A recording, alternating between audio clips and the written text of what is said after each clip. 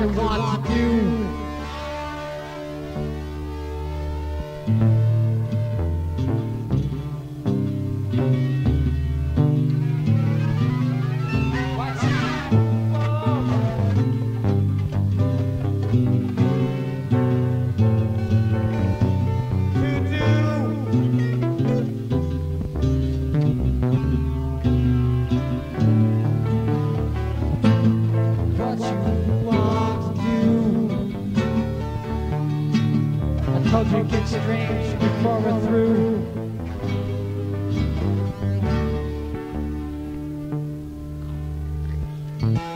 And all your kids voted Republican last time. And now you got them charging you a dollar and you only got a dime. I thought you'd learn during 1962 to stay away from the Republicans. But then you turn around and look what you do. These people are gonna burn us alive. Because it's not us, it's the monetary system they want to survive. And what do you think they charge you a buck and a half for a gallon of gas? Because as you're willing to go every November 2nd and kiss their fucking ass. Fucking ass! I don't know what I gotta do to make you understand! You don't have to be a sheep, you can stand up and be a man! Change the field, change the field, change. And it's not just the monetary system that has been rearranged. Because after I've got over 21 not thumb, but gun. And I learned, once I got nuclear waste, you didn't rule by the law. You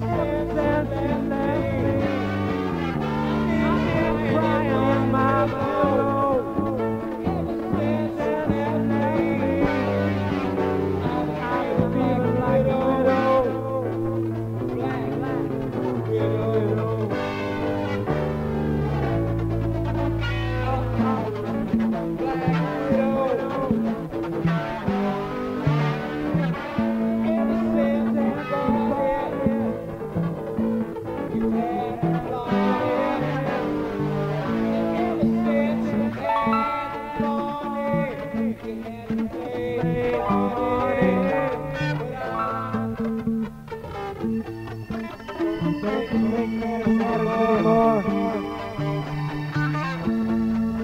got the message about the he walked out the door.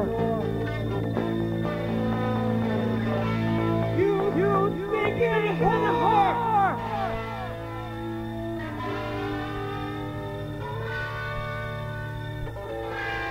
You walk out the door.